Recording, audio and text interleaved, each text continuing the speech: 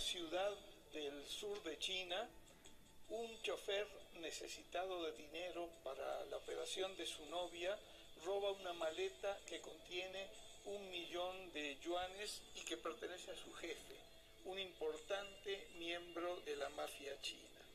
A partir de esta premisa se entrelazarán varias historias que transcurren en apenas 24 horas y que involucran a un grupo extenso de personajes, todos ellos tras el ladrón y la maleta con el dinero. Que tenga un buen día es el segundo largometraje del animador chino Liu Jian, que nació en Jiangsu en 1969 y cuya ópera prima, Persin 1, participó en el prestigioso Festival de Annecy en Francia. Desde entonces, en el año 2010, prácticamente Jan estuvo dedicado a hacer su segunda película, animándola casi solo dibujando cada una de las imágenes.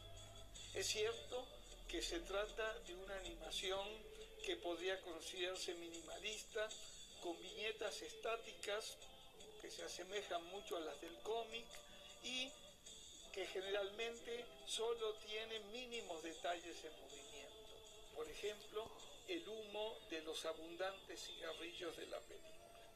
Además, la mayor parte de los exteriores fueron calcados sobre fotografías de los lugares diversos.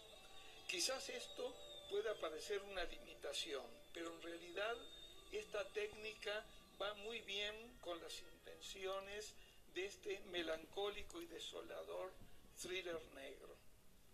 Se puede pensar en Takeshi Kitano, el cineasta japonés, pero sobre todo en el Tarantino de tiempos violentos por el manejo de las diversas historias que se entrelazan. Sin embargo, en eh, Que tenga un buen día hay también una mirada crítica sobre la sociedad, el desencanto, la violencia, la corrupción que hizo que las autoridades chinas impidieran su exhibición en el Festival de Annecy. De todas maneras, se vio en otros festivales, Berlín, Bafisi, Milán, Seattle, etc. En México tuvo su estreno en el Foro Internacional de la Cineteca en julio de 2018. Veamos entonces que tenga un buen día aquí en Muestra Internacional de Cine de la Cineteca por Canal 22.